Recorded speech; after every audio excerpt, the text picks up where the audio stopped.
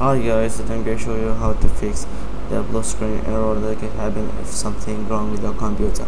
So everything to do, is just go to the start menu, control panel, and system security, system tab, advanced system settings, and the startup and recovery settings, uh, system failure, and you're gonna enter the re automatically restart, and put this on neutral if you don't change that. So hit OK and then OK close the control panel and the problem has been fixed. I'm really sorry for the voice but I need a, a fix for this problem for my voice. Help me in the comments and thanks for watching